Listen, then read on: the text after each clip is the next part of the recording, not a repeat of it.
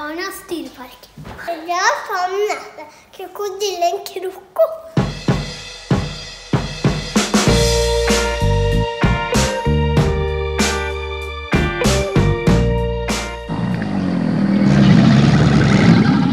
Kroko er en nilkrokodille.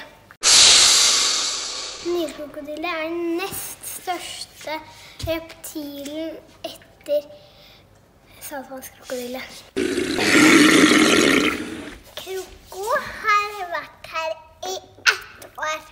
I dag skal vi se på noen bilder fra når Kroko blir fanget.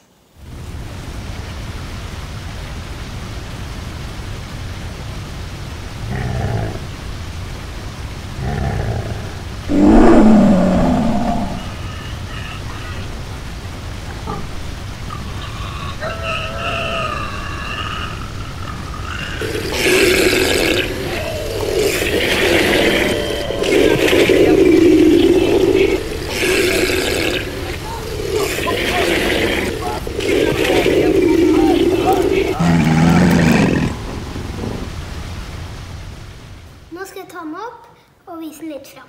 Da skal jeg gi den til Kristina. Vær så god, Kristina. Er den ikke farlig, da? Nei, Den er ikke Nei. så veldig farlig med oss. vil du klappe den?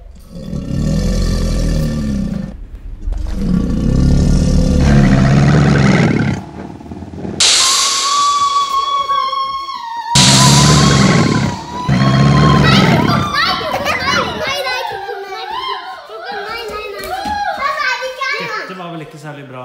Nei, det var ikke bra. Dette skulle ikke skjedd. Det fortsatt ikke. Koko, det var veldig slemt av deg. Ja, det er skikkelig slemt av deg.